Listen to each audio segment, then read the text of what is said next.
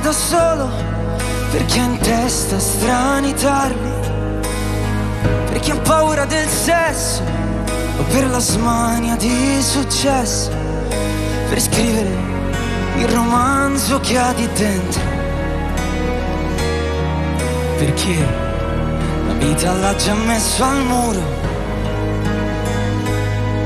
o perché in un mondo falso è un uomo vero ma Dio delle città e dell'immensità. Se è vero che ci sei e hai viaggiato più di noi, vediamo se si può